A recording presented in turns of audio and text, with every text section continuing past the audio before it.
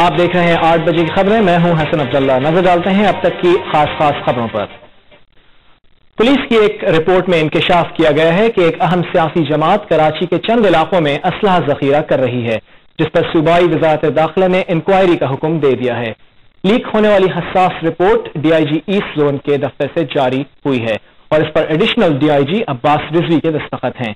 Report में कहा गया है कि अवामी नेशनल पार्टी और इसकी तलबा तंजीम पख्तून एस एफ़ सच्चल, मुबीना और अज़ीज़ भट्टी थानों की हदूद में असलाह जखीरा कर रही है।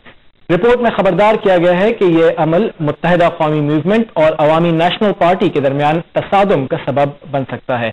अवामी नेशनल पार्टी के तर्जुमान ने इस मामले पर कोई बयान नहीं दिया, जबकि मुतहदा अवी मूवमेंट ने मुतल इलाकों में सर्च ऑपरेशन का मुतालबा किया है। कराची के